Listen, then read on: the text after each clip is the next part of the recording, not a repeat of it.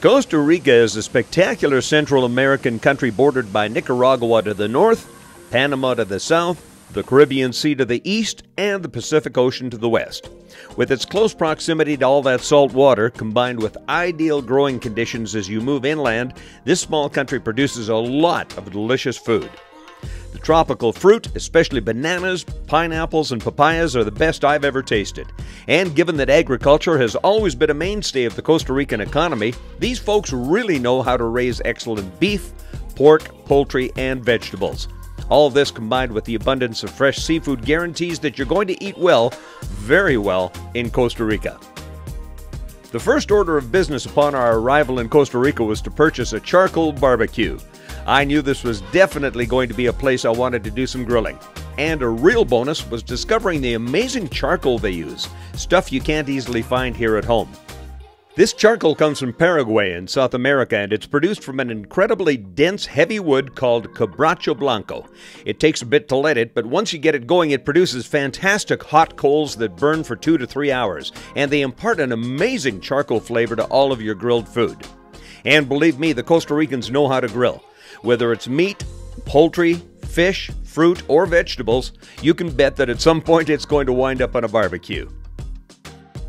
On this episode of Danny Hooper Edibles, I'll be grilling a delicious carne asada, which is a Spanish term that translates into grilled meat. Sounds pretty basic, but typically it's made from the tougher cuts of beef like flank or skirt steak, and the meat is marinated in an endless variety of spices that add flavor, citrus fruits like orange or limes that tenderize the meat, and a wild range of liquids that can include anything from black coffee to soy sauce for a little added dimension.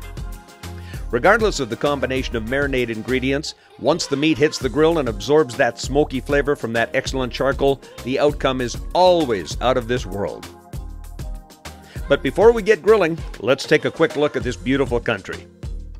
The coastal regions of Costa Rica tend to be dry and at times fairly windy. The beaches are amazing, and it seems you're never far from great little beach towns and funky little surf communities where it's super easy to find delicious food and drink right on the waterfront. In fact, one of the best desserts I've ever tasted was the pineapple pie at a little beachfront restaurant in Coco Beach up on the northwest coast of the country. Moving inland, the vegetation and topography change dramatically. Temperatures are cooler than along the coast, and the landscape is blanketed with rainforests and punctuated with spectacular volcanoes, many of which supply the unbelievable natural hot springs you'll find in Costa Rica. Wherever you travel in Costa Rica, you'll notice an item on menus called casado. Now, a casado, which means marriage, is just that. It's what they refer to as a plato tipico or typical dish, offering a variety of tastes piled up on one overflowing plate of bright colors and delicious flavors. Casados are always offered at local restaurants and generally have a good sized portion of white rice, black beans, salad, and your choice of meat. Costa Rica doesn't have much of an international reputation for its cuisine because, for the most part, these folks eat simply. And when you're surrounded by such an abundance of fresh food, who needs to get fancy? That said, things are changing and you don't have to look far to find amazing, delicious food, whether it's a wide variety of multicultural samplings found at the night markets or the mind blowing presentations of all this fantastic bounty at local restaurants. And let's not forget the coffee. When I heard that Costa Rica only produces about 1% of the world's coffee, I thought to myself, that must be because they're keeping it all for themselves. And why wouldn't they? Costa Rican coffee is so delicious, especially when savored at one of the specialty coffee houses like the one we discovered in La Fortuna.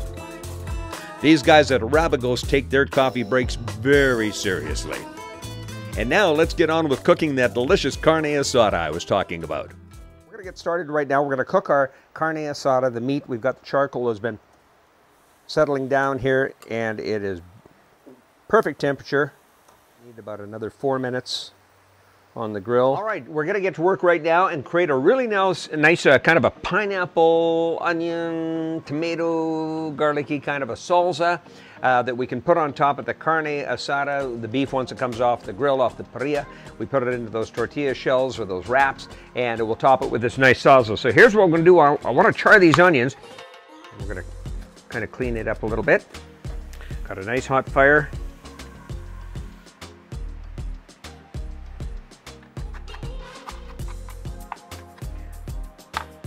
I've already cut up some uh, fresh garlic. Again, the garlic here is fabulous. I probably got about lots of garlic because I'm married to a Ukrainian and she loves lots of garlic and so do I because I love my Ukrainian wife. So anyway, we've got about a tablespoon, tablespoon and a half of uh, beautiful minced garlic in there, chopped garlic. Put in a little uh, drizzle of olive oil. Throw these tomatoes in there. Now, off the charcoal grill. Got some beautiful caramelized onion and pineapple. Oh man, that onion smells so sweet.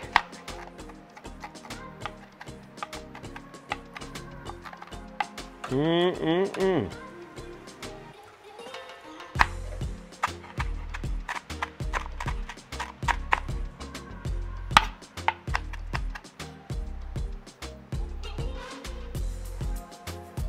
So to finish these off, uh, and just let them marinate a little bit before we eat, I'm gonna take some olive oil, drizzle a little bit of olive oil on there.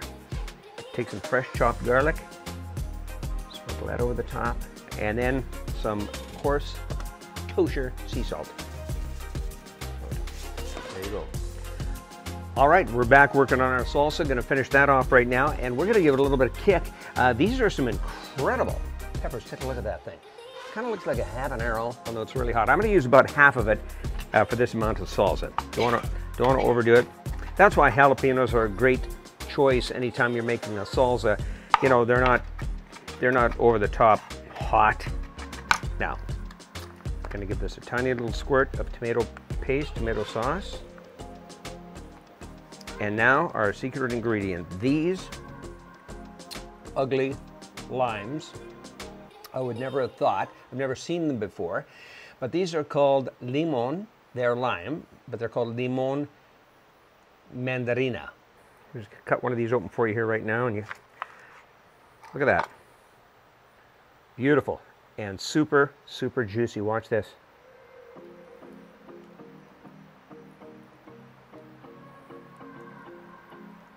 Man. Ah, so. Kosher. Coarse salt. Roasted pineapple. Charred onion. Charred pineapple as well. Cilantro. Lots of garlic sea salt, and this kick-ass pepper. And that's the salsa, folks, that we're going to be putting on our carne asada. We'll just let that sit. All right, it is dinner time here on Danny Hooper Edibles, and we have our beautiful carne asada, this fabulous beef that's been marinated. Let's just carve this up and get ready to enjoy this. We'll serve this in tortillas. Take this, Heat that up in a little pan, get it nice and warm, little tortilla shell. You put your carne asada, your meat in there, do a little bit of the salsa. Then what I'm going to do here, I'm to take one of the grilled vegetables that we did, the zucchini, lay that right on top, and we're going to give her one of these.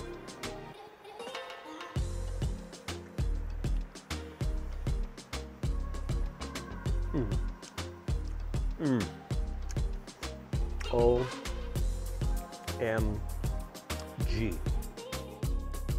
A highlight of this trip to Costa Rica was making friends with some of the locals, and when the Segura family invited us into their home for a cooking lesson, we jumped at the opportunity. It was a lot of fun learning to make arroz con leche, a delicious Spanish rice pudding, and the tortillas de queso, that's homemade corn tortillas, which the locals enjoy for breakfast, lunch, and at snack time, stuffed with shredded cheese. Simple, yet so delicious.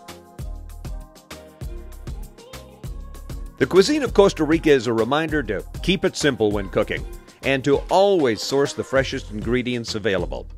The food we tasted in Costa Rica has inspired me to up my game by marinating more of the meats that I love to grill, and to invest in better quality charcoal. Believe me, it really makes a huge difference in the final outcome. So that's it for now. Hope you enjoyed this episode of Danny Hooper Edibles, and if you did, please be sure to subscribe to my channel. There's plenty more to come. Hungry? Let's eat!